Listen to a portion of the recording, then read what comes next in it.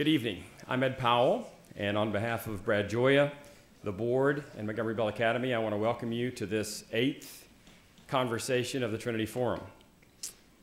Uh, we're very thankful for the partnership with St. Paul and Ken, with the Trinity Forum and Cherie, and uh, we think you'll be really excited to hear this uh, conversation this evening. For those of you who don't know Montgomery Bell Academy, Montgomery Bell Academy uh, is in the process and, in, and has for 150 years been building boys into good men. And by definition, that requires a whole host of questions about what is good and what is manhood. And uh, this school has engaged those boys through history and literature, through art and music, through science and mathematics, athletics, and poetry. Now, if you are wanting to engage those topics on this campus, uh, as we say, you better be prepared to uh, strap your helmet on tight because it'll be done with rigor and it'll be done with charity, but it will be done. Uh, if you look at the list of things that we just mentioned, it actually looks a lot like the list of speakers from the Trinity Forum. And the partnership between MBA and the Trinity Forum uh, is not a partnership that's simply about us hosting a series of conversations. It's actually core to who we are. Because at MBA, boys are not shy about dealing with the hard questions, and they're not satisfied with easy answers. And so we're thankful for your work, for your being here, and uh, we look forward to this evening.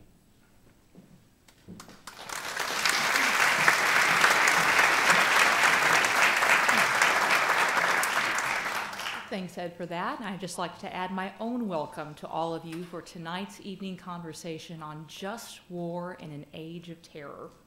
I'm Cherie Harder. I'm the president of the Trinity Forum, and we have been really delighted to be able to partner now going on finishing up our fourth year with the Montgomery Bell Academy, Brad Gioia and Ed, uh, as well as St. Paul's Academy and Ken Cheeseman. We're also grateful for the many hosts and sponsors who have made this evening and others like it possible.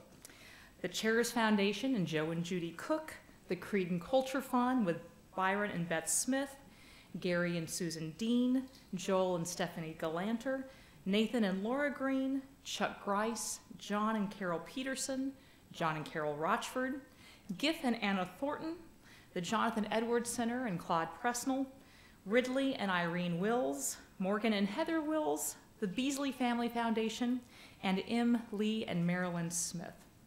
I'd also like to acknowledge the presence of a few special guests tonight, including former Attorney General Al Gonzales and his wife Becky, as well as the members of my own board, the Trinity Forum, who are here tonight. Our chairman, Price Harding, Byron Smith, Howard Dahl, Doug Wilson, Jim Spear, and George Clark. But we're also very excited that each and every one of you are here tonight and to again have a completely sold out crowd. We actually had to shut down registration almost three weeks ago. So if you had friends who wanted to be here tonight and uh, encountered the sold out issue, I will be recording tonight's evening conversation. It will be available on video. We'll have clips of it on our Facebook page as well. You are very welcome to comment there or add your com uh, comments to Twitter uh, at hashtag Trinity Forum. As Ed mentioned, this is actually our eighth evening conversation in partnership with the Montgomery Bell Academy and, uh, and St. Paul's Academy. And as he mentioned, we've really tackled a very broad range of topics over four years. We started out with historian Ron White talking about Abraham Lincoln's second inaugural, what he called Lincoln's Sermon on the Mount. We've discussed whether freedom can last forever with sociologist Os Guinness. We've delved into why beauty matters with the former chairman of the National Endowment for the Arts and poet laureate of California, Dana Gioia. We've looked at friendship in the midst of wartime using J.R.R. Tolkien and C.S. Lewis as models with Joe LoConte. We've looked at the life and thought of Augustine with Eric Gregory, and most recently, we looked at how to care for our culture when so many people are trying to wage cultural war with visual artist Mako Fujimura. With each of these broad range of topics, we have been sold out every single time, and we're just so grateful to you for the interest you've shown and delighted that you've joined us once again for what promises to be a fascinating conversation. Part of our mission at the Trinity Forum is to try to provide a space and resources for leaders to discuss life's greatest questions in the context of faith. And certainly one of the great questions of our time, and indeed all time, is how to rightly understand, confront, and thwart those who would seek the harm or destruction of our society. When and how is the use of coercive power and deadly force just? How do we understand and respond to threats in a way that is both restrained but also effective? How do we safeguard our nation's national security without sacrificing our ideals? And how should we protect our citizens without corrupting our soldiers? Finally, how should we understand and engage a new kind of enemy that plays by a new set of rules, that revels in atrocity, that stands apart from the normal boundaries of nation states, and often exploits great evil on social media as a form of recruitment? Clearly, these are not easy questions, and there are certainly no easy answers. But there are few who can engage those questions with the expertise, scholarly acumen, or insight than our speaker tonight, Dr. William Inboden. Will, or Willie the Kid, as he once was known, is executive director of the Clements Center for History, Strategy, and Statecraft at the University of Texas at Austin. He serves as associate professor at the LBJ School of Public Affairs and a distinguished scholar at the Robert Strauss Center for International Security and Law. He previously served as a senior director for strategic planning at the National Security Council at the White House. He also worked at the Department of State and the policy planning staff, and as a special advisor in the Office of Religious Freedom, and as a staff member both in the United States Senate and the House of Representatives. He served as senior vice president at the London based think tank, the Legatum Institute, and a Civitas Fellow at the American Enterprise Institute. Has been a frequent and noted contributing editor to Foreign Policy magazine, and his commentary has appeared in numerous outlets, including the Wall Street Journal, the New York Times, the Washington Post, NPR, and the BBC. A graduate of both Stanford and Yale, from which he received his doctorate in history, Will is also the author of Religion in American Foreign Policy The Soul of Containment, as well as numerous articles and book chapters. Last but certainly not least, I'm proud to say that he is a senior fellow of the Trinity Forum. Will, welcome.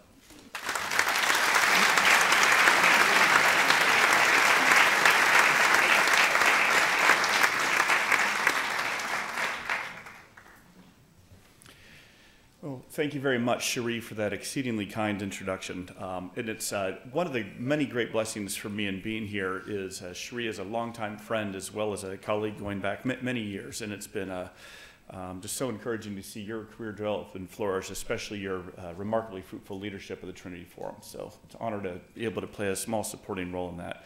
And uh, my thanks as well to the um, our other host tonight, the Montgomery Bell Academy. I had the great good fortune of spending uh, uh some time today with uh, a number of the boys uh, here um, in AP History class and AP Government class and some of the debate team. And my goodness, if you want to be encouraged about the future of our country, just spend some time with the kids here. Um, or if you want to feel humbled about what a knucklehead I was in high school compared to these guys, there's that too. So, anyway, I don't know if mom and dad are watching that, but yeah, so back home. Um, and as well, uh, as if that weren't enough encouragement, enjoyed a special session with the sixth graders at St. Paul's uh, Christian Academy also. Um, and uh, again, a tremendous group of young men and young women, and it's uh, great to see them being steeped in the values of, uh, of faith and, um, and, and, freedom and, and really the next generation of great citizens for our country. So, two weeks ago marked the 15th anniversary of the September 11th terrorist attacks. September 11th remains the bloodiest attack on American soil in the history of our nation. The casualties uh, that day far exceeded those killed at Pearl Harbor. and the destructive cost eclipsed the British burning of Washington, D.C. back in 1814. The 11th of the 9th, in short, ushered in a new era, the age of terrorism. For many Americans, especially those such as myself who were in Washington, D.C. or New York that day, September 11th remains indelibly seared in our memory, a traumatic moment in time that it's, horrifi- that it's as horrifying and vivid in our minds uh, today, a decade and a half after the events, as it was at, at the time. For others who were very young at the time, and I uh, continually am struck by that each year when I'm teaching undergrads at UT, used to be when I teach them, they remembered September 11th. Now it's a very distant one, if anything, for the, you know, the high schoolers today, they, they don't.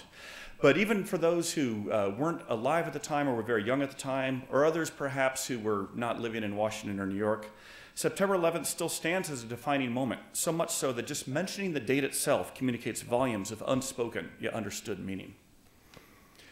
Now, so, to better understand what's transpired since, I often remind myself what those of us who were living and working in Washington at the time thought and felt in the weeks and months after the attacks. For all of us, the question was not if Al Qaeda would attack us again, but when that attack would come. It was a certainty. In the recollection of former National Security Advisor Steve Hadley, who was my boss in the National Security Council, in the days after 9 11, he said, we had credible intelligence suggesting possible multiple waves of follow on mass casualty attacks, including using weapons of mass destruction. So terror was for us not an abstraction, but a daily reality. We were terrified of what we feared would happen next. And our national security leaders and scholars, a collective community really at the White House, the State Department, the intelligence community, the Justice Department, um, as well as think tanks and universities across the country, uh, all struggled to define the nature of this new conflict. We grasped for historical analogies, and yet nothing seemed to fit. Was it most similar to our conflict with the Barbary pirates in the early 19th century? Was it closer to Pearl Harbor in World War II? Or perhaps the Cold War, or something else altogether? And similarly, just as we struggled to put it in a certain historical context, we also uh, struggled to clarify the legal and the moral frameworks that would govern our response. Yes, the jihadists who attacked us were the embodiment of evil, but how were they and their collaborators to be treated in response? Were they criminals to be prosecuted and imprisoned, or as combatants to be captured or killed? And just who was the enemy? Was it only those who directly uh, engaged in violence against us? Or was it also those who funded, supported, and trained the terrorists? Or also the clerics and imams and ideologues whose sermons and writings uh, uh, promoted jihadist terrorism as an act of piety, however perverse? Or also, again, was it the governments that sponsored or sheltered the terrorists? Similarly, if we were going to use force against the terrorists, where was the battlefield? And how do we know when we can kill and whom? Only when we see them in the act of waging violence, or also when we suspect they might be plotting against us. Looking back now, a decade and a half later, I've asked myself the following thought experiment. In the weeks after September 11th, if I could have seen 15 years into the future, if I could have seen standing here with, with you today uh, to the year 2016, what would I have been surprised to learn? Well, there's three things that stand out. First, I would have surprised, uh, been surprised to learn that in the 15 years since September 11th, the United States has not suffered another large scale terrorist attack on our homeland. We may take this for granted now, but we shouldn't. It's an indisputable success of American counterterrorism policy, and both the Bush and the Obama administrations deserve considerable credit for this. Uh, the safety that we have enjoyed, the relative safety since then, is not an accident. Second, I would have also been surprised, uh, looking forward 15 years ahead to now, if you would have told me that Al Qaeda would have metastasized and proliferated into a menagerie of jihadist groups. What was once a movement dominated only by Al Qaeda now consists of an alphabet soup of menace. You've got the Islamic State, Al Qaeda in the Arabian Peninsula, Al Qaeda in the Islamic Maghreb, Al Shabaab, Boko Haram, and many others. In short, the tactical successes that we've made against Al Qaeda and ISIS have not translated yet into a strategic victory against militant jihadism.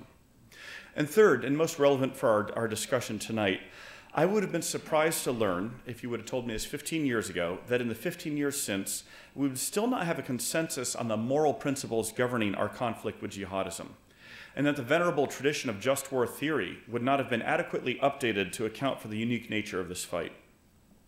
A, a quick aside on the uh, odd timing of all this, perhaps even providential. Uh, when I had gone off to graduate school at Yale, one of my uh, qualifying exam fields was a year long examination of just war theory and, and, and, history. And I then moved back to Washington to join the Bush administration uh, about a week before September 11th, not knowing that so much of this graduate study was going to be uh, so immediately, immediately relevant. Now, many of you here will have some familiarity, or perhaps quite a bit of familiarity with the just war tradition, and others you may not. Um, so, give a brief overview. It's a body of moral principles about when it's permissible to use force, when it's obligatory to use force, and then how force may be employed. And the tradition's roots are in the Christian faith, especially as developed by Augustine, Aquinas, uh, Luther, and Calvin, and others.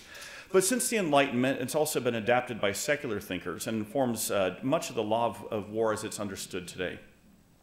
Now, some early church leaders, such as Ambrose and Augustine, first began to articulate the just war tradition in response to what they perceived as two opposite errors that were uh, afflicting some early Christian thinking on matters of war uh, pacifism and then what we might call a crusading mentality.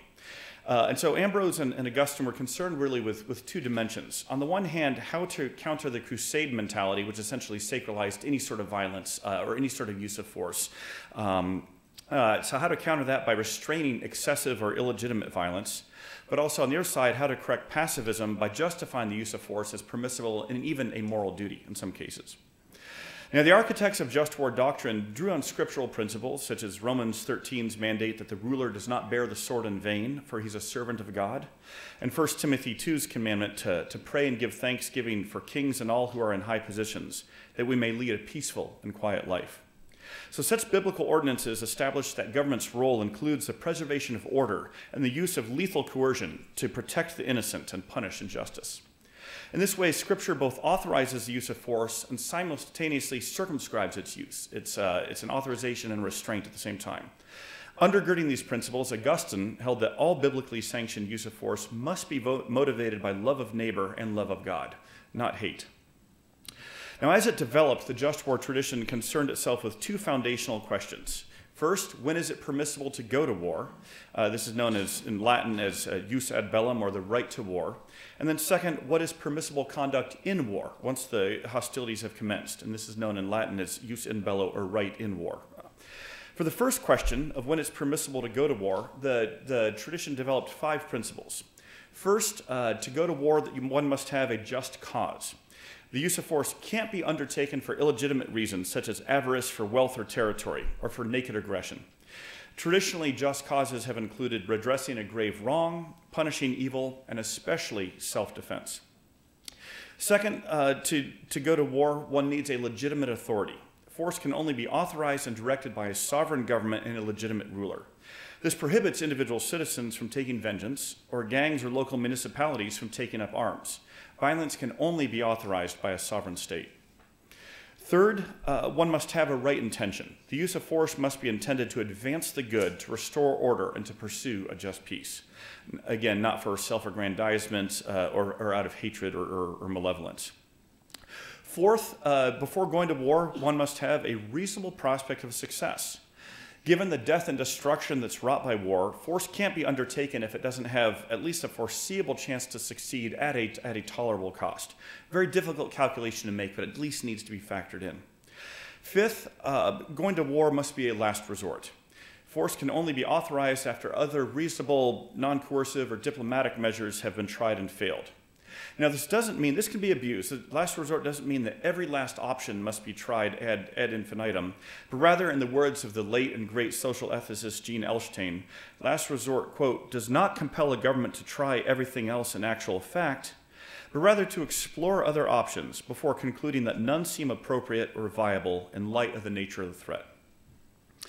Then we come to the second category of just war thinking what's permissible use of force in war? And there's two main principles here. First, uh, what's called discrimination or non combatant immunity. This means that civilians can never be directly targeted and that the employment of force must discriminate between combatants and non combatants.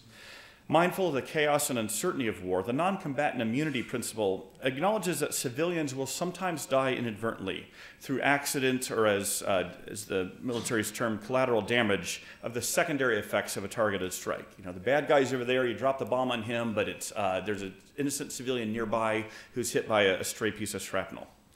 Now, importantly, the just war tradition doesn't condemn all civilian deaths, but only those that are caused intentionally by direct targeting, um, if you're actually trying to kill the civilians. Those civilian deaths that are directly intended are murder.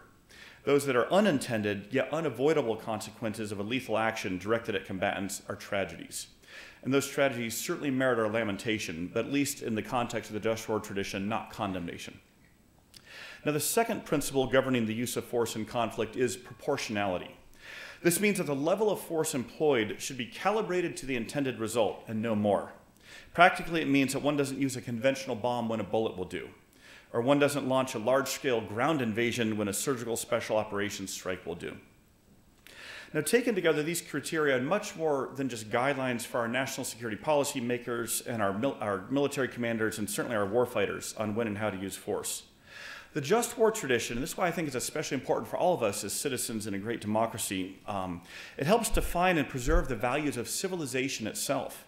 A society that adheres to these principles can generally consider itself a just and a free society, one that affirms human dignity and recognizes hum- the humanity in our enemies, just as it also affirms that there are values that are worth fighting and killing for, and yes, also values that are worth dying for. Now, to take this from the abstract to the concrete, particularly in this age of terrorism that we live in, I want to offer a few, a couple of vignettes from the current conflict that I think illustrate the need for just war principles. Now, be forewarned that a couple of these accounts are disturbing. I don't share them to horrify you, but so we can all appreciate the nature of our foe and the difficult choices we face. So, first, from a very recent Reuters uh, magazine, uh, Reuters newspaper article interviewing some Yazidi refugees from the Islamic State. Yazidi refugee Samo Ali can't focus on the future because the sounds of women and children crying out for help while being buried alive by Islamic State militants in northern Iraq often consume his mind.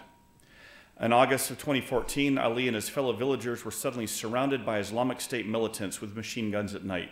Suddenly, the men began digging ditches, soon to become mass graves. We did not understand, Ali said. Then they started to put people in these holes. These people were alive. After a while, we heard gunfire. I can't forget that scene. Women and children crying for help. We had to run for our lives. There was nothing to be done for them.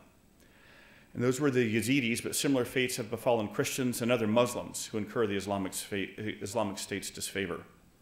And when the Islamic State isn't burying women and children alive, it's kidnapping and drugging and brainwashing children into becoming suicide bombers. From an article just last month in a British newspaper. Footage has emerged showing the arrest of a boy thought to be as young as 12 who was carrying a bomb, carrying out a suicide bomb attack on, on behalf of the Islamic State. Video shows Iraqi security forces removing a suicide bomb vest from the young boy and shows him appearing to burst into tears as he's captured by police. The boy had been kidnapped by masked men who placed the explosive vest on him. The article also notes that last month, another ISIS, uh, ISIS child suicide bomber, also aged 12, was behind, behind an attack on a Kurdish wedding which killed at least 51 people. At least 22 of the victims were under the age of 14. So, this is the nature of the foe. The second vignette, on the other side, American actions. On September 30th, 2011, just five years ago almost exactly, Two American Predator drones fired several Hellfire missiles at a car in Yemen carrying four passengers, including Al Qaeda leader Anwar al Awlaki and Samir Khan. All four were killed. Two weeks later, another U.S. drone strike in Yemen killed uh, Awlaki's 16 year old son, Abdul Rahman, while the boy was sitting in an open air market. The United States government later confirmed that the boy Abdul Rahman was not the intended target and was not suspected of terrorism. Anwar al Awlaki, his son Abdul Rahman, and Samir Khan were all American citizens. Now, these two vignettes illustrate vividly, although from very different angles, how inescapable moral considerations are from our conflict with jihadism. Just think right now as you're evaluating those accounts I just read what's right, what's wrong about that? Why am I horrified at something? Um, you know, how do I justify something else? Consider the first example about the Islamic State's barbarism towards children. Think part of the source of our justifiable abhorrence of ISIS stems not just from its appalling wickedness, and it is that, but also from our implicit moral sense that the Islamic State's actions violate the very canons of civilization. So, understanding the just war paradigm helps us to identify and define the enemy and to understand the nature of the conflict. Violent jihadists such as Al Qaeda and ISIS, by their very existence, violate virtually every cardinal tenet of the just war tradition, all seven I walked you through. And doing so isn't just incidental to their purposes, rather, it's central to who they are. Again, consider the vignette I shared about uh, ISIS and, and its use of child suicide bombers and its attacks on women and children in light of just war principles. Just cause. Does ISIS have a just cause? Not at all. They engage in aggression to conquer territory and exterminate those who don't submit to their perverse religious vision. Do they have a legitimate authority? No, it's not an internationally recognized sovereign state, but rather it's an unaccountable gang of terrorists. Do they have right intentions? ISIS uses force not to advance the good and to restore peace, but rather to perpetrate evil and bloodlust. Do they have a reasonable prospect of success? No. Is their use of force the last resort? The use of, for, the use of violence is rather the Islamic State's first resort and favored tool. It, it defines who they are. Discrimination and non combatant immunity. The Islamic State intentionally and viciously targets civilians, especially women and children. They almost rather attack them than, than enemy soldiers. Proportionality. Not at all. ISIS deliberately uses disproportionate violence to inflict as much death and suffering as possible. Much of the same could be said of Al Qaeda and its various franchises. Um, you know, barbarism is not a word in vogue too much, but if, if this isn't barbarism, I don't know what is. And yet, undergirding jihadist terrorism is a conviction that the enemies of jihadism, variously defined as Americans, Christians, Jews, Westerners, and really anyone who doesn't embrace jihadist theology, including other Muslims, by the way. The largest numeric victims of jihadist terrorism are Muslims. More Muslims have been killed by jihadist terrorism than Christians, Yazidis, Jews, Americans, Europeans. Um, and so jihadist ideology says that these, all, all the rest of us are subhuman and don't possess any inherent dignity or rights. Now, what about the account I shared about the American drone strike that killed U.S. citizens Samir Khan and the father and son Awlakis? Well, they were killed by their own government without arrest, without due process, in the case of the 16 year old, without any known complicity in terrorism. We don't have evidence that Khan and the senior Awlaki were even armed at the time of their killing, nor do they appear to have directly taken up arms against the United States. Moreover, these killings took place in Yemen, a country with which the United States was not at any sort of declared war. So, at first glance, this fact pattern should discomfort us, or at least give us pause. For it might also appear that such lethal strikes fall outside the bounds of the just war tradition's permissible use of force. However, and this gets to one of the real themes of our discussion tonight about how do we think about this tradition in light of the realities on the ground, I would contend that the uh, Awlaki case comports with the spirit of the just war tradition and instead illustrates ways we need to consider refining and updating the tradition in light of the really unprecedented nature of our conflict. For example, although uh, both, uh, both Awlaki and Samir Khan were U.S. citizens, they were also residing outside the U.S., and they had declared themselves to be at war with the U.S. They were intentionally inspiring, encouraging, and directing attacks against the United States. To take just two examples, Awlaki was the main architect of the 2009 underwear bomber plot and the 2010 cargo plane bomb plot, either of which, uh, if they'd been successful, could have caused catastrophic loss in the United States his malign influence has extended from beyond the grave. Um, in the five years since his death, videos of him would circulate widely on the internet calling for violent jihad against Americans have inspired the radicalization of recent homegrown terrorists, such as the Boston Marathon bombers, Omar Mateen, who murdered 49 people in Orlando earlier this year, and Ahmad Khan Rahami, arrested just last week as the prime suspect in the New York and New Jersey bombings. Now, the killing of the younger Abdul Rahman Awlaki was a tragedy and one which our nation should profoundly regret. But because it resulted from an intelligence error that was made in good faith, wherein the targeters thought they were aiming at a known terrorist, uh, in terms of just war principles, I do think that this would fall under the exception granted for inadvertent killings of non-combatants. And again, it is tragedy and something that I think that should grieve, could grieve all of us. But there's a, the real distinction here is between the intentionality or not. Now, all the foregoing discussion does raise a fundamental question Are we in fact in a war? Much hinges on how we answer this. Some scholars and policy leaders say that terrorism is best considered as a law enforcement problem. Others that it's primarily a political problem of alienated young people falling prey to the siren call of a radical ideology. The terrorism problem does have these elements, but I believe that it is indeed a war in the most basic sense. An armed adversary has declared its intention to destroy the United States and our allies, and has been waging violence against us since then. And we should recall that the enemy gets a vote too. Jihadists have declared war on us. Osama bin Laden's sweeping fatwa in 1998 declared that, quote, to kill the Americans and their allies, civilians and military, is an individual duty for every Muslim who can do it in any country in which it's possible to do it. This fatwa still animates Al Qaeda members today. Similarly, the Islamic State has issued repeated calls for its members to uh, become volcanoes of jihad, attack the United States and other Western targets. The results of these imprecations are not just rhetorical, but rather a grim litany of terror. Paris, Brussels, Nice, San Bernardino, Orlando, Istanbul, many others. So there's no perfect frame to define our conflict, but the war paradigm is the best beginning foundation. Added to it are also the ideological and theological dimensions of a war of ideas tearing asunder one of the world's largest religions. The law enforcement dimension, countering homegrown plots and prosecuting and arresting and prosecuting those uh, whom it's appropriate to do so. And the intelligence dimension of monitoring, infiltrating, and countering militant organizations. So while the war paradigm does not mean that every aspect of our lives and every action taken is defined by war, it does mean that the just war framework is still our best resource for defining the moral, defining the moral dimension of our response. So if this is a war, 15 years after 9-11, how is the United States doing in adhering to just war principles in this fight? In my remaining time, I want to highlight a few notable areas of what I think are moral fidelity and also suggest a few areas of moral ambiguity. So, first, the good, the areas of moral fidelity. Most fundamentally, the United States is justified in waging war against jihadist terrorism. Our cause is moral in terms of all the uh, jus ad bellum criteria. It's a just cause under legitimate authority with right intentions, a reasonable prospect of success, and certainly a last resort. This isn't a fight we chose. Additionally, our use of force has also in large part followed uh, principles of moral conduct in war. In particular, our military and intelligence communities have gone to great lengths to honor discrimination and non-combatant immunity. And this is where technological advances in precision-guided weapons and careful targeting have not only given the United States tactical advantages, but also moral advances. Now we can target a strike with pinpoint accuracy, which provides a much higher likelihood of killing the intended target but also provides much greater protection to civilians who may be in the vicinity.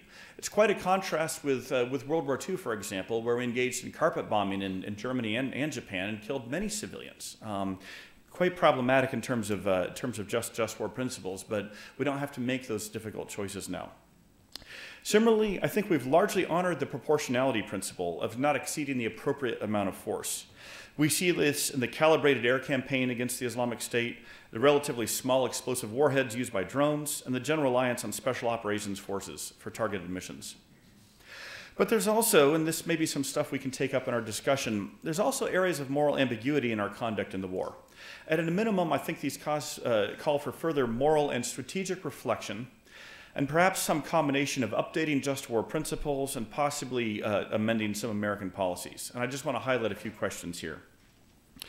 First, while we strive to honor the principle of non combatant immunity, in this murky conflict, it's not always clear who is a combatant and who is not. What of the imam who preaches violent jihad but does not directly engage in terrorism himself, isn't, isn't putting the bombs together or those plots, but certainly trying to inspire it? What of the courier who carries and delivers funds and messages to a terrorist leader? What of the Muslim family who allows a terrorist to take shelter in their home for a few nights? What of the foreign government official who quietly supports terrorists? Um, these are very difficult calls for our warfighters, for our intelligence officials, for our government, but also things I think we need to wrestle with as a, as a country in deciding how do we draw some of these lines. Second, the parameters of this war are, are unclear, as I alluded to earlier. How do we define the battlefield uh, and when does it end? So the geographic and the chronological parameters are, are unclear. What rules dictate spaces that are in between zones of war and zones of peace? such as areas of Yemen, Libya, Pakistan, where the U.S. is not at war, but are still active in kinetic military and intelligence operations. The philosopher Michael Walzer, one of our greatest living just war theorists, calls our use of force in these areas measures short of war and says that we need to develop a third category of just war reasoning called jus ad vim, or the just use of force. And I think that's a beginning, uh, good beginning place to reflect further on those questions. Third, our reliance on drone strikes, especially um, in recent years, does raise a proportionality question. Under the Obama administration, the United States has effectively gotten out of the business of detaining and interrogating terrorist suspects overseas. Instead, we usually just kill them in drone strikes. Current US law would permit, we have the legal authorities, uh, our country to carry out, I think, an effective program of capture, detention, and interrogation of terrorist suspects. Yet the current White House largely chooses not to use these capabilities. And in some case, in a lot of cases, I understand why. Uh, there's a lot of advantages for the most part to the drone campaign. But in some cases, this does raise the question of whether our failure to capture and interrogate these terrorists is depriving us of useful intelligence that could hasten our success in the conflict. This is not just about how merciful or, or severe you've been on a terrorist, it's about what do we not learn when we kill them. Additionally, the default setting of killing suspected terrorists may in some cases constitute a disproportionate use of force when, and this is only in some cases, a reasonable alternative exists of a capture and detention operation that would pose minimal risk to U.S. forces. Fourth, our doctrine on the preventive and preemptive use of force needs to be updated. And our nation's leaders really wrestle with this question. When I worked for President Bush on the National Security Council staff, my colleagues and I spent weeks agonizing over how to formulate an ethical and legal statement of the preventive use of force in our 2006 National Security Strategy. And preventive force has still been used on a regular basis by the Obama administration, again, exemplified by the drone campaign and the anti ISIS op operations. Um, preventive force is where you don't wait for the bad guys to attack you, you go kill them before they, they can attack you. As Yale Law School uh, professor uh, and also Christian Stephen Carter observed a few years ago, the puzzle that just war theory has not yet resolved is how real the threat must be before a preventive or preemptive war can be declared a war of self defense. Now, some just war theorists of centuries ago believed that necessity should govern the preventive use of force more than imminence. Currently, the thinking is, well, if it's an imminent threat, if the guy's about to pull the trigger or set off the bomb, then you can, then you can, then you can take him out. But given the nature of the terrorist threat, specifically our pervasive uncertainty about the time, place, and manner of new attacks. Necessity, if we really just absolutely need to do this, um, seems to offer a, promising, a more promising foundation for justifying preventive action. And again, we need to have a very some very careful criteria here.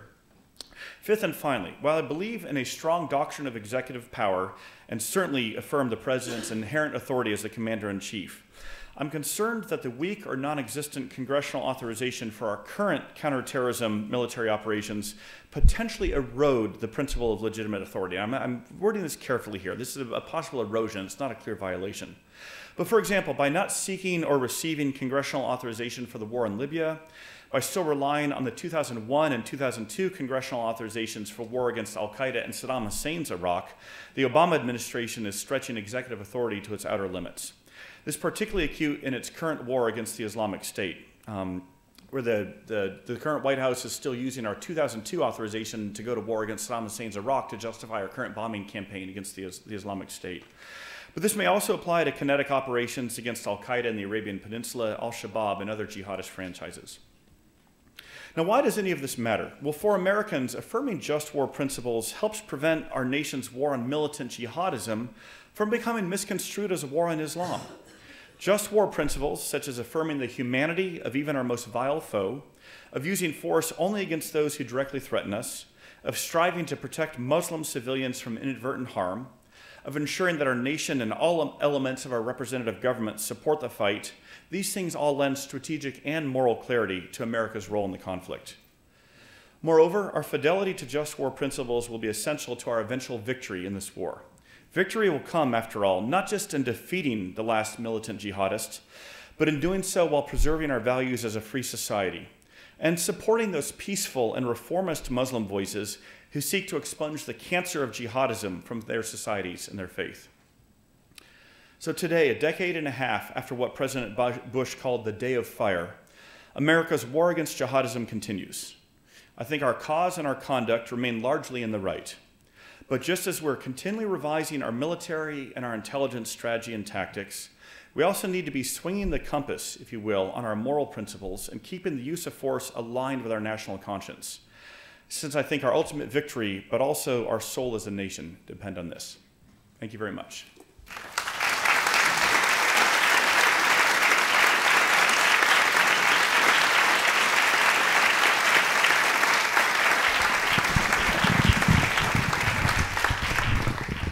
Good evening. I'm Ken Cheeseman. I'm the head of school at St. Paul Christian Academy, and I am blessed to have each one of you here.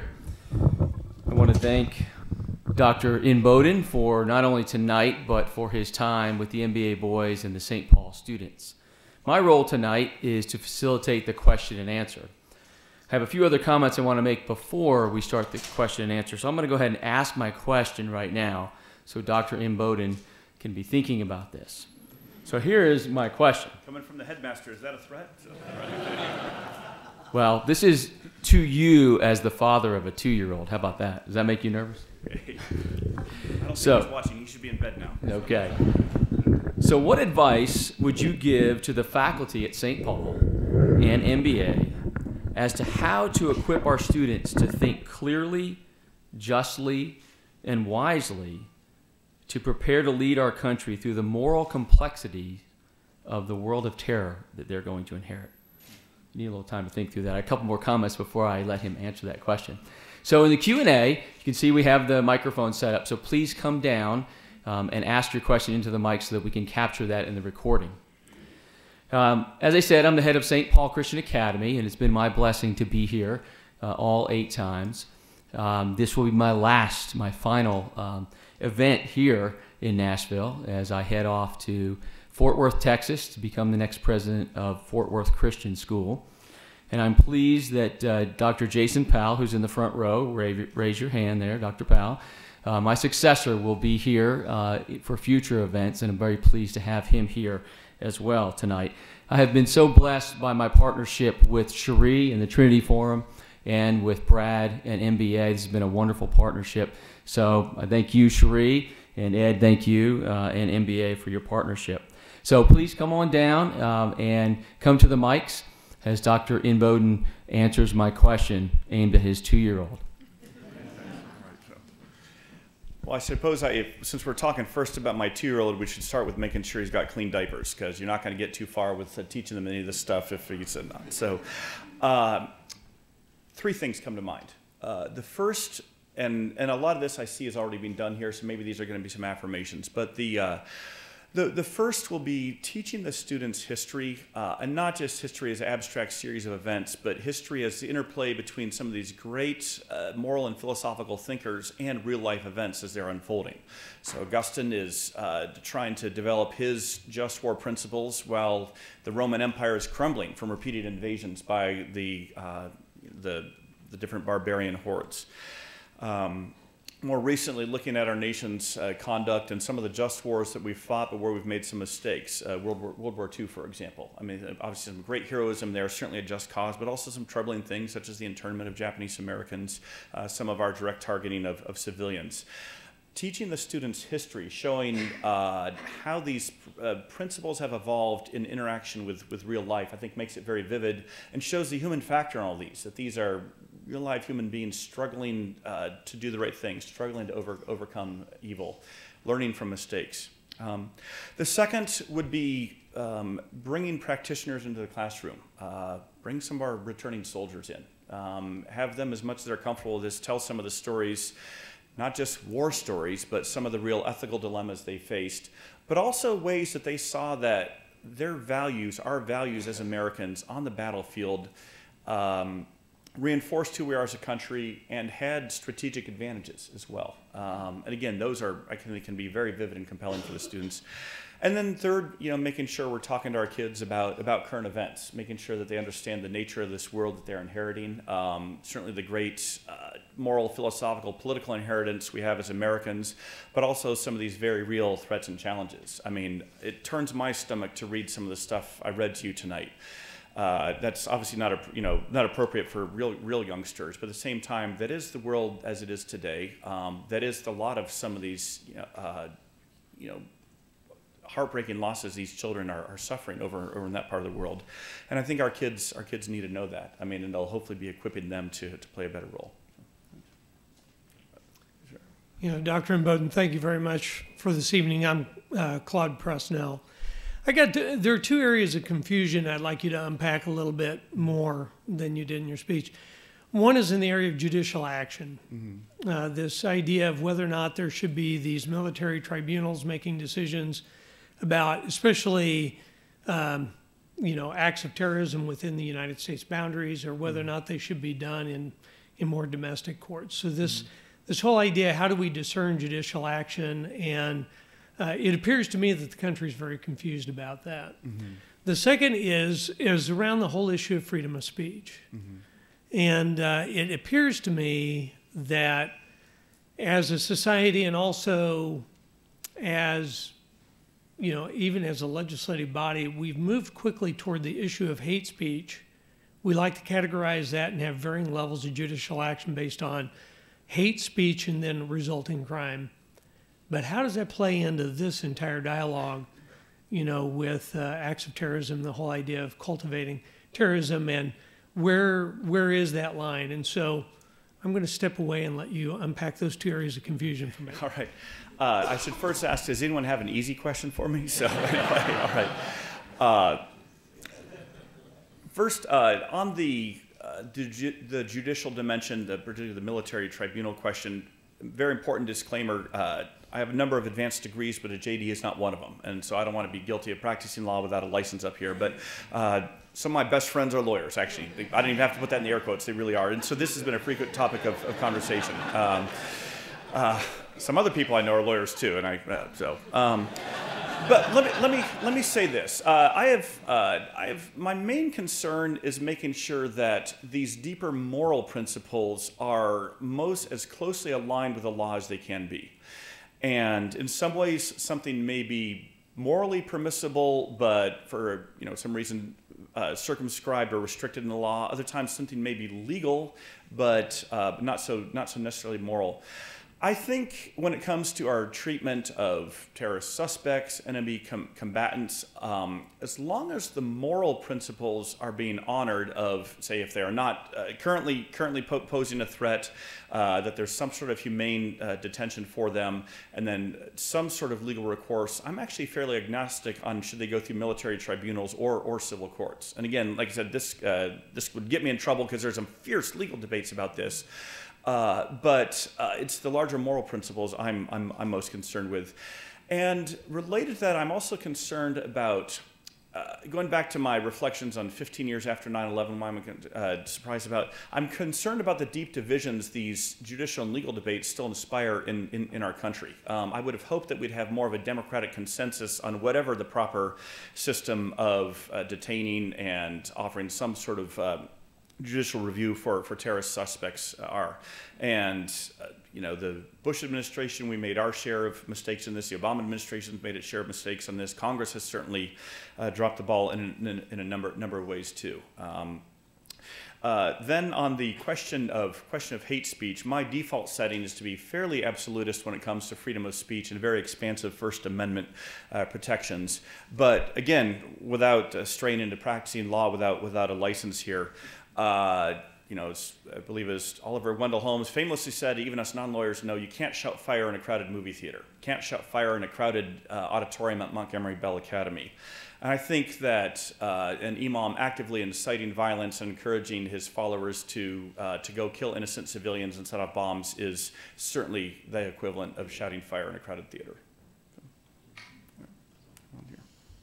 Uh, doctor, thank you very much for coming tonight. This was a wonderful presentation. Uh, you've, you've touched on many things that I pay a lot of attention to, particularly the rise of jihadism, kind of post the collapse of pan Arab nationalism. Mm-hmm. Um, it, my big question is what can we you and I, Cherie, all of us, Brad Gioia, if he was here, we cannot do anything to bring about a reformation in Islam. And Christianity has undergone a major reformation. Judaism has. Islam has not. In fact, it was incredibly uh, tumultuous for uh, the followers of Islam when they put in accent marks in the Quran to bring more uh, accuracy to the words in their holy book. So we stand in longer TSA lines. I've had this conversation a little bit with uh, with uh, Mr. Gonzales about civil liberties, and in reaction to what happened in 9/11. We stand in longer TSA lines, all this kind of stuff. We see our civil liberties eroded, whether it's the gathering of metadata by the NSA, all these things, and we have no power, all of us here, to uh, to bring about transformation, reformation in Islam. What can the United States do vis-a-vis our Muslim partners in the Arab world, in particular, to actually pressure them? to bring about a reformation on their own because like i said we can't do it only they can do it and it seems that our reaction to islamic terrorism is just to curtail the civil liberties of non-muslim uh, people in the united states uh, great question, and again, one I've given a decent amount of uh, thought and study to myself. So, a few a few observations, and this will be a little bit of an elliptical way, getting very much to your question about the possibility or not of Islamic Reformation. So, I, I want to say, make three statements on the question of Islam and uh, and, and, terrorism. Um, first, to repeat what I mentioned earlier, Muslims are the largest victims of jihadist terrorism, just in terms of the number number killed. We need to remember that.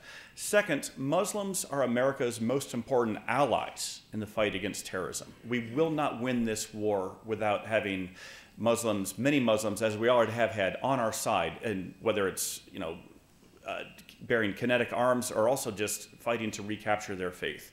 Third, the sources of jihadist terrorism are irreducibly Islamic, and this gets to the question you're asking about. And some of our political leaders have not spoken honestly with us as a nation about this either. Um, it's a difficult conversation to have because I said this is not a war on an entire religion. Uh, you know, depending on how you slice and dice it, there's 1.2 to 1.5 billion Muslims in the world, and uh, they have a incredibly broad array of interpretations of their of their of, of, their faith. Only a tiny tiny percentage of them would believe in this you know violent violent jihadism. Uh, and yet, it's very much in our interest as a nation, uh, as, a, as, a, as a free people, to try to prevent uh, ensure that as few as possible of the broader swath of Muslims in the world become radicalized and join that tiny that tiny minority because that's where the active recruiting pool is coming from. So what can we do? Now getting more directly to your question. First, Islamic Reformation I don't think is the best analogy. Um, I say this as a Reformation Protestant myself. so um, because uh, if you look at the Protestant Reformation, some of it was about going back to the source text, uh, certainly uh, you know the, the, the Bible itself most fundamentally, but as well as reading it through early church fathers like, like Augustine. Um, uh, unfortunately, Islamic source texts are not uh, at their core. I mean, let me put it this way. Uh, arguably, Wahhabism is the Islamic Reformation in terms of going back to the core, the core source text, and that's dispiriting. Just in terms of eliminating all the, uh, the, the, traditions and the, the, different interpretations that had encrusted the faith over, over, over the years. However, um, there is enough diversity and subtlety uh, within Islam, and certainly many very courageous Muslims who are literally risking their lives. Uh, don't say this metaphor, literally risking their lives, including a couple I know who have to have constant bodyguards and can only live in the United States or Europe because they would be you know, put to death in, in their, their home countries, who are arguing very much for a more tolerant, pluralistic, uh, you know, reformist, moderate, uh, pick your adjective, interpretation of their faith. And uh, so, what is Islam? Islam is what Muslims say it is. And we have a vested interest in supporting and encouraging those Muslims who want to advocate for a much more uh, tolerant interpretation of their, of, of their faith. So, what can we do? Support religious freedom overseas uh, as, uh, as it's a foundational human rights principle. It's in Article 18 of the Universal Declaration of Human Rights.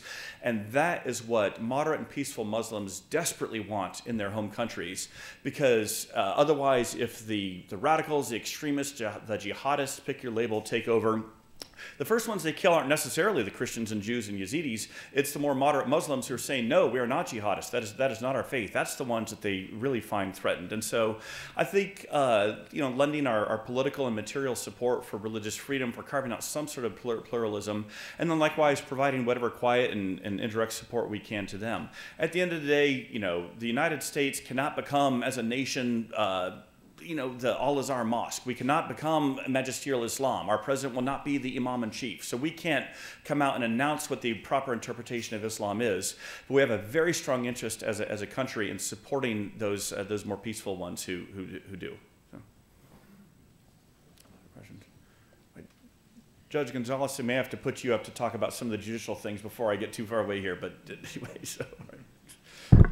I have a question about the sides of our brain that we're using, because it seems to me that um, just war theory calls on our left brain to talk about uh, the, the reason and the analysis that we can bring to bear. We live in a media-saturated world that really appeals to our right brains, though, and I'm, I'm wondering, what can you tell us that gives us resources to deal with these problems having to do with confidence? You've mentioned some things that are encouraging in terms of our, our um, uh, standard of conduct Mhm. uh, that we can feel good about. But generally, these topics seem to be discouraging and never ending. And uh, what can you help us with in thinking about this from the other sides of our brain? Well, again, to keep coming back to it, just as I don't want to practice law without a license, I certainly can't practice neuroscience without a license. So there's only so far I can go on left brain, right brain type stuff. But no, I very much appreciate the, the spirit of the question. But this is where, as I alluded to earlier, and maybe can spell out a little bit more here, there is something I think very intuitively, uh, emotionally, viscerally appealing about being in the right on a fight uh, and being in the right in, in, in a larger struggle. There's also something very intuitively, you know, uh, viscerally appealing about seeing American soldiers doing everything they can to protect children. Uh, uh, and including uh, incurring great risk to themselves in combat operations to make sure that they're not killing Iraqi children or something like that. And so it's not just these abstract moral principles that we, you know, are deeply, very deeply ingrained in our in our in our troops, uh, but there's a uh, there's a certain character that one aspires to inhabiting it, and I think it's it's a, a beautiful thing to, to to behold. It's really ennobling. Uh, on the on the other side. Um, when I read you accounts of these, you know, vicious, barbaric violations of just war tenets by by the jihadists, uh, I'm not doing that so you'll flunk them on a philosophy exam. I'm doing it so you'll get angry, uh, justifiably, righteously angry, and that's certainly that side of our brain operating. Not angry to the point where we become as evil as them. I mean, that's the whole point of this struggle, right? Is that we win while still retaining our, our own soul. And yet, I do think we need a justifiable sense of outrage. Sometimes I worry that as a broader nation, we're losing the language of morality, the language of good and evil, uh, the language of wickedness. I worry about this with uh, you know some of my university students. If anyone's watching back in Austin tonight, um, although they're probably reading for class tomorrow, uh, uh, um, the, the, moral relativism that is uh, afflicting so many of our, our, our young people today is is really troubling. Where they kind of have this sense that terrorism isn't so good, but, but how can we say they're wrong? And that's just the path that they, they, they choose. And so I, I do think that there's a real interplay between those sides of our brain in our moral intuitions and then the logic we apply. Um, you spoke a lot about not losing our soul in these wars, and I would just um, like you to flesh that out a little bit. What you mean by that? Because even in a just war, obviously, there's a tendency to grow cold. And as an 18-year-old, I don't I can hardly remember a time when we weren't dealing with terrorism and threats in my lifetime. And so it's easy to just grow cold as a civilian towards all the things that are happening. So how can we as a nation not lose our soul in situations like this? Yeah, boy, again, my appeal for an easy question. Uh, yeah, so anyone want to talk about any football games this weekend or something? So I, I asked for it. I'm the one who talked about not losing our soul. Uh, a few reflections there. Um, and this is where it's a very difficult balance to have because, uh, as I said earlier, I would have been surprised 15 years ago to know that the, the threat uh, or the threats would have proliferated so much as they are today. Afghanistan is far and away our longest war now, and we still are in combat there. Um, you know, much longer than, than Vietnam Vietnam was before. Afghanistan, of course, being one of the important hot war fronts in this in this larger conflict. Uh, but I think, you know, maintaining our soul, if we can again use theologically informed language still like that, begins with acknowledging some of the realities of knowing that we are in what looks like it is going to be a, a, a long conflict. Um, I do think it can end at some point. I think that partly just because there was a time before we had to deal with this. We can imagine a world when terrorism wasn't a threat, wasn't wasn't wasn't a concern. There was a time when Islam, with even with some of its other uh, internal challenges uh, as a religion, was not producing these massive amounts of suicide bombers and people who are doing such such awful things. And so, in that sense, an end is is possible. But we do need to steel ourselves for a, a longer fight. But that's also why why I talk about, uh, just as we need to come to terms with this longer fight, why we need to uh, stay true to our principles because it is such a long fight. Um, and we've made a number of, I think, very important choices as a nation that largely have uh, protected and, and, maintained those, uh, those principles so we don't become as the, as, as the others, as the enemy. Um, I, I started the talk by reflecting how there aren't any perfect historical analogies, and, and there aren't. I still, as a you know, I am a card-carrying historian. I do have a historian's license. That's one thing I can practice history. But but let me say this: the the best analogy I do think is the Cold War One, as imperfect as it is, and I want to talk later about all the ways it doesn't fit. But here's here's the ways it does fit. Um, it's an ideological struggle between the free world and the, then it was Soviet communism. Now it's uh, it's militant militant jihadism. It's got its kinetic uh, components. It certainly has a few localized hot war components, but it also has a, uh, an intelligence component. It has an economic and a, and a political component. Um, and as I was saying with uh, some of the students earlier today, I started my talks with the students reflecting how I grew up in Tucson, Arizona in the, in the 1970s and 1980s. And any of you who know Tucson know that Tucson's surrounded by those mountain ranges, which when I was a kid growing up there had about 30 or 40 ICBM missile silos around there. And so Tucson was, you know, very high on the Soviets' targeting list uh, for the megatonnage of nukes they were going to send at us. So I grew up as a kid terrified of nuclear war. That was the reality we knew. That was the reality we knew, and we thought the Soviet Union was was going to be there forever as, as a threat. And uh, we somehow we were able to you know maintain our freedom as a society and, and maintain our sanity. And yet at, at, a point there came and it was no longer a threat. And it took about 40, 45 years, depending on how one how one dates dates the Cold War. But um, I think we're probably looking at a similar generation long long struggle here. And I think there are some encouraging uh, lessons and insights we can take away from the Cold War framework. I was wondering, you mentioned that it's problematic that the kinetic military movements are not very well authorized by Congress. Mm-hmm. Um, isn't war properly a branch, properly an activity of the um, executive branch? And as such, isn't it problematic to have the legislative branch closely involved in all of the activities and shouldn't there be some sort of more uh, I guess open declaration of war, though I know that's problematic because it's really hard to say who you're declaring war on exactly and see when it's done and when you're not declaring war anymore. So no. If that makes no, any sense. No, uh, yeah, very, very, very good question. Again, um, there's embedded in that. There's some moral questions about legitimate authority. There's some legal questions about what is and is not, you know, constitutionally and legally permissible. And then there's some, uh, some more, if you will, political questions about what's just good for national unity uh, in, in these in these settings. So I'll try to walk them through in, in those ways. So first, on on the legal one, again, I start uh, with a very expansive understanding of, the, you know, the president's constitutional authority as as commander in chief. However, um, you know, the the history and the constitutional questions on this are are contested, and I just think it's a really good idea as a political matter for the nation to be as united as possible behind a president when he or perhaps eventually she is waging war. This is why uh, you know, President Bush may not have needed congressional, congressional authorization to launch Operation Enduring Freedom. He may not have needed congressional authorization to launch uh, Operation Iraqi Freedom, but I think he was wise to get it. And he got it with very strong bipartisan majorities. And that brought a much stronger sense of national unity and I think it, uh, it erased any questions about the legitimate authority um, because you know, our government, of course, is a tripartite one. But when you have all three branches, uh, you know, not the Supreme Court took a vote, but they had no problems with it either. When you have all three branches representing the American people, I just think that's a very good thing for, for national unity, certainly for supporting the troops in the field, knowing that the whole country is behind them, certainly for the rest of the world, knowing that the United States is fully committed to, to, to this, to this fight.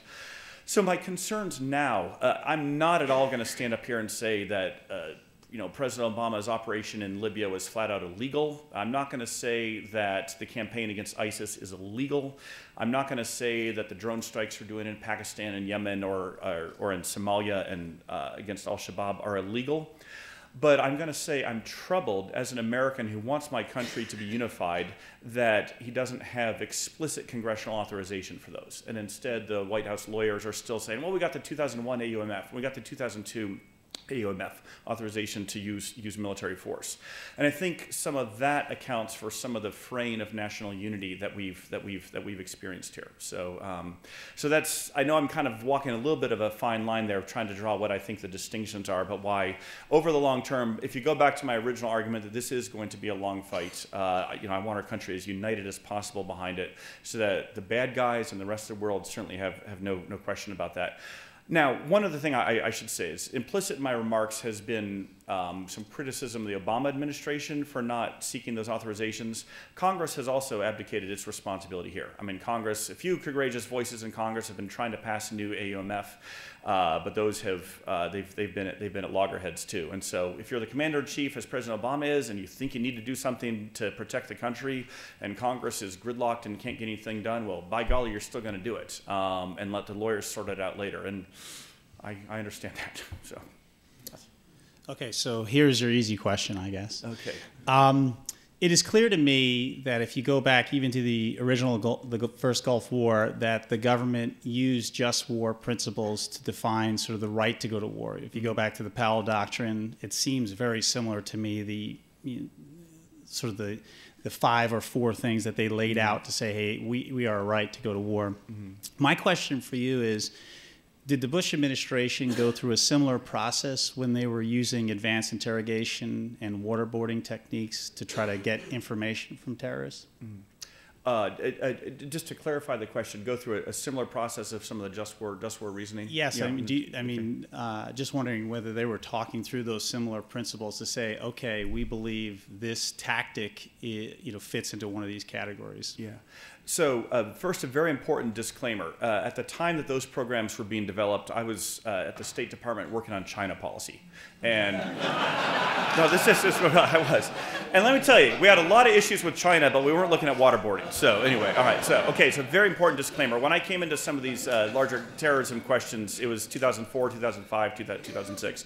But, uh, but then I do know a lot of the, the lawyers and policymakers and others uh, who, who were involved in those questions and I've talked to them at length. I teach an ethics course on this. I've read through those.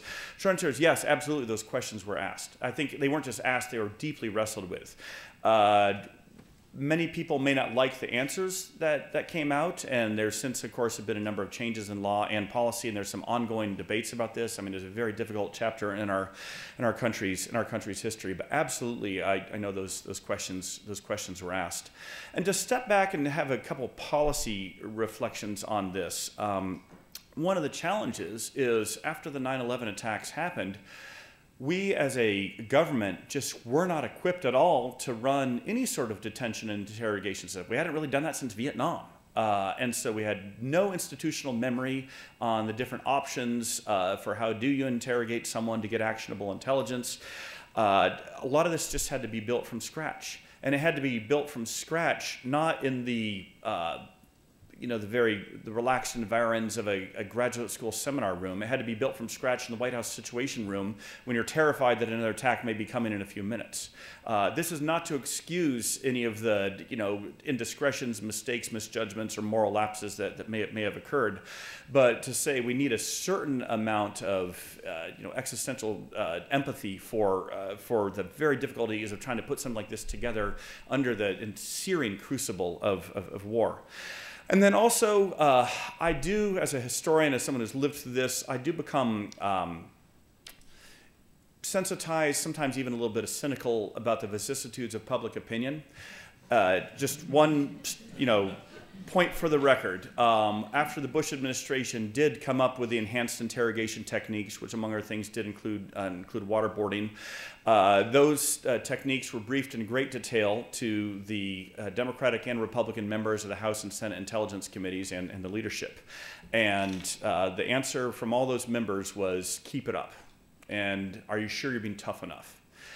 Some of those same members, a few years later, when these practices fall into disfavor, are some of the sternest ones denouncing it. Um, and uh, I, I, find that very problematic. Um, and again, I'm, I'm caveating, there's some very difficult questions about what actually was right and was wrong here, what worked and, and, and what didn't. Um, but that's a larger national conversation we, we need to have. Uh, and sometimes I think there's been more uh, self righteousness than, uh, than moral humility on that.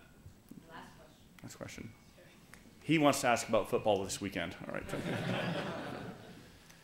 Uh, well, thank you for being here. It's been really, really wonderful to have your acumen sharing so much with us.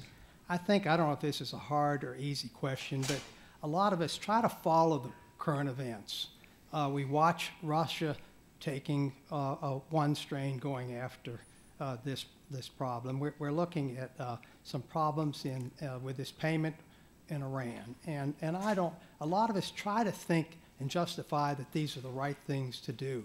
The, the problems with Syria or Egypt, uh, the, the, the, some of this growth of this ideology seems like we're not all connected with what exactly we should be thinking about. And you're uh, so bright and kind of around all this. Could you assimilate some of these factions that are running in all different directions and see if we're getting are we gaining ground on this, or are we kind of just still in a, in a fog? Hmm. Okay, great question. And um, Cherie, we can go till midnight, right? Because, okay, all right, because about a four hour question. I'll try to do the, the four hours in, in four minutes. Um, so uh, let me give two somewhat contradictory observations that will try to bring a lot of this together. The first observation is looking. Um, so last week at University of Texas, uh, where I teach, we hosted a big national security conference. Um, Steve Hadley was out. A number of you know former Bush and Obama administration leaders were out, and our current director of national intelligence, Jim Clapper, came out and he's been in, he's 75 years old. He's been doing intelligence since he was 21. Uh, so he's been doing this for over 50 years, and he's very happy to tell you he's retiring in January. But the, the, the chronology uh, is important because he said this is the most complex threat environment he's ever seen. He didn't say it's the worst he's ever seen. You know, the bad old days of the Cold War uh, were, were pretty bad. Um, you know, 20,000 Soviet nuclear warheads aimed at us is about as, that's a bad day, all right? That's, that's a bad decade but complex in terms of all those different actors uh, that you mentioned and then, and then many others. Um, and so, how do we even make sense of this? Well, on the one hand, I break it down regionally.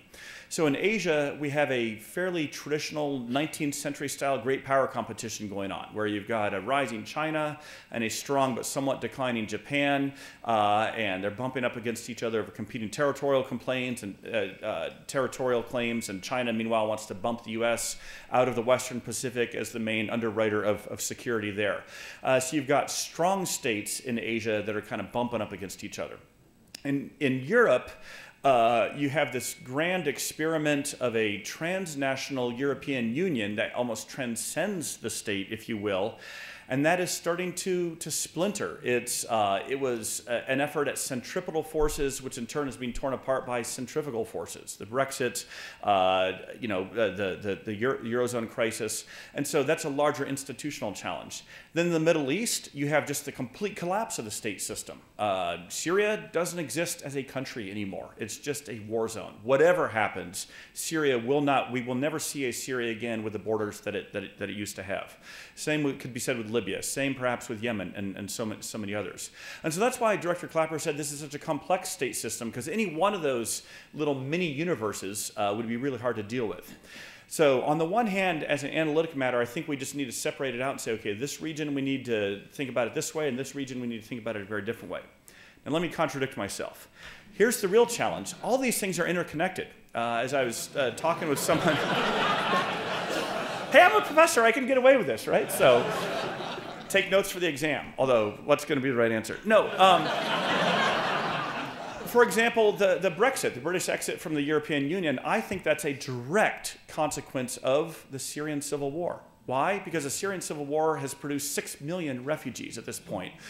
Vast majority of them are in Jordan and Lebanon and, and, and Turkey and, and elsewhere in the region, but Hundreds of thousands of them, as you know, have been flooding into, into Europe. That provoked not just a uh, you know kind of a refugee processing crisis for Europe, it produced a larger governance crisis and an existential crisis for the European Union. And you know many uh, many many Brits, uh, and I followed this very closely. I lived in London for, for two years and was there right before the vote. Uh, they'd had some growing concerns about other immigration problems and Eastern Europeans uh, under the uh, EU who were able to move there. But then they see this wave of refugees coming in, and they have a sense that their government uh, under the EU is just powerless to do anything about it. They just lost a larger sense of control of their country, not because of British French issues, but because of what's going on in, in, in Syria. And so, uh, so that's just one way that these things can spill over. Another, I was in Japan recently. Uh, Japan, of course, has a lot of concerns about North Korea's nuclear program and certainly China's encroachments. And so I went to Japan to meet with a lot of uh, Japan's um, uh, national security leaders thinking we were going to talk about China and North Korea. Instead, they wanted to talk about two countries, Ukraine and Syria. Why? They see that the United States drew a red line in, in, in, Syria against the use of chemical weapons and didn't enforce it, and that undermines Japan's trust in the American extended deterrent if the North Koreans do anything really bad. Uh, they see that in Ukraine, uh, Putin was able to get away with, for the first time since World War II, rearranging borders by force and has suffered very little in the way of consequences. And they look at China trying to rearrange some borders in the region, uh, argued by, by, by some, some, small amounts of force. And so they have questions there. And so, even as an analytic matter, we may look at these very different regions. We need to understand that the regions are, uh, are talking to each other, are looking at each other, and are dealing with some of the same, uh, same spill, spillover effects. So, um, I'm probably not giving you a very encouraging answer, but I'm just saying this is why, as, as a country, we do need to think very carefully about these questions. But then I'll say one final thing, and I mean this as somewhat of an encouragement. At least some of these uh, uh, policy challenges are a result of the United States stepping back, uh, taking a half step back from our historic role as, uh, you know, as the global superpower and the main underwriter of global security. And we can all recite the bumper sticker. We can't be the world's policeman. We can't impose democracy by force. We can't turn those Middle Eastern countries into Jefferson democracies. All true. But if those sort of bromides turn into excuses to just step back and retreat behind our own borders, it might feel good for a little bit, a little while, but pretty soon the problems of the world are kind of spilling into, into our shores here. And this is why, as a country, uh, I, I, hope that we're uh, asking ourselves some hard questions, but maybe we do need to uh, have a stronger, more active presence on the world stage. Not going to solve all these problems, but it might help at least mitigate some of them. So, thank you very much.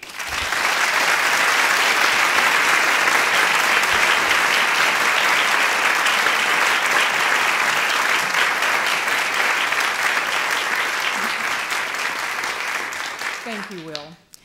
It's now my pleasure to issue the slightly awkward invitation to turn your attention from the contemplation of the vast questions of geopolitical stability, just war, good peace, good and evil, life and death, to the small pamphlet on each of your chairs, inviting you to join the Trinity Forum Society, an invitation which I hope you will avail yourself of.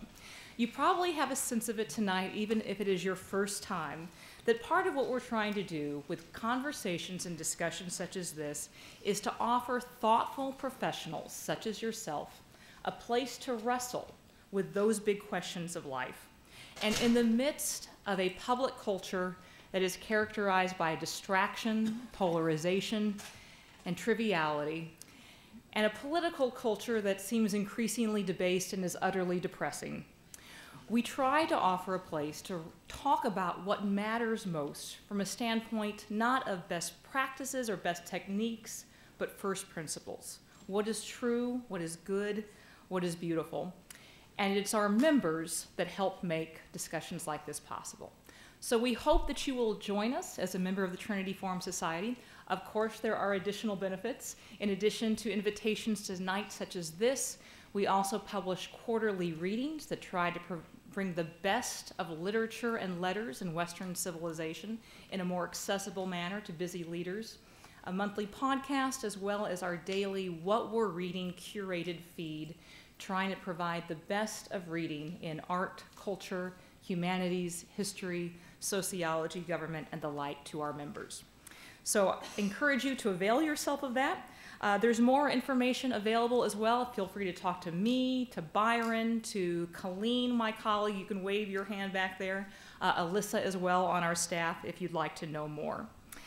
Uh, we also, for tonight, will be video, videotaping this. It'll be available on our website. It may be available on MBAs as well. We will have photos on Facebook. Feel free to look us up, tag your friends, send it along. And we hope that you'll join us for future conversations as well. Since we have sold out every single time, I would encourage you to mark your calendars now. So our next event will be on March 30th with legal scholar and expert on the intersection between religion and law, John Inazu. Particularly given uh, that we are at a time when there seems to be decreasing support for the principles of liberal democracy, toleration, and free speech, we thought it would be particularly salient to provide a speaker who, whose expertise uh, is in pluralism and recently wrote a book called Confident Pluralism in a Divided Age. And so we commend that to you, March 30th. We hope we'll see you there. It's also always appropriate to end with thanks, and certainly uh, there are many people to thanks. Thank. I will uh, mention again our sponsor. It's a long list, but we really are grateful for you, so we want you to have extra recognition. The Charis Foundation and Joe and Judy Cook, the Creed and Culture Fund, which is the family foundation of Byron and Beth Smith. I mention this every time, but it only gets more and more true. While Byron does not stand up here, he really is the often unseen force behind this initiative. We owe him extraordinary thanks, and we really appreciate all that you do, Byron. Gary and Susan Dean, Joel and Stephanie Galanter, Nathan and Laura Green, Chuck Grice, John and Carol Rochford, John and Carol Peterson, Giff and Anna Thornton, the Jonathan Edwards Center and Claude Pressnell, Ridley and Irene Wills, and Morgan and Heather Wills. And I'd also like to note that since our last time together, we've added two new sponsors that I'd like to particularly thank the Beasley Family Foundation and Lee and Marilyn Smith. If you too would like to be one of the hosts and sponsors of these organizations, feel free to talk to me, to talk to Byron, to talk to Brad Gioia or Ken Cheeseman. Sponsorship like this makes it possible for us to be here year after year. Finally, I'd like to thank just a lot of the folks that make it happen, uh, including and primarily our partners, Montgomery Bell Academy and Brad Gioia. Ed, we're so glad you're here tonight as well. And St. Paul Academy and Ken Cheeseman. As he mentioned, this is his last night here. It has been an honor and a pleasure. He is a class act. It's been a delight all the way around. We will miss you and Godspeed. And Jason, welcome, and we'll look forward to working with you. I also just want to mention some of the volunteers who really helped out tonight. Uh, Noel Michael, one of our former interns who's now at Vanderbilt. Uh, Parker Page from St. Paul. Kristen Jones from St. Paul. Tracy uh, Wilson. Langer Coleman from MBA. And Linda Hilliard, as well as my terrific colleagues at the Trinity Forum, Colleen O'Malley, Alyssa Abraham, and brand new executive assistant and Nashvilleian Ashley White Brothers. Finally, thank you to each and all of you for coming, and good night.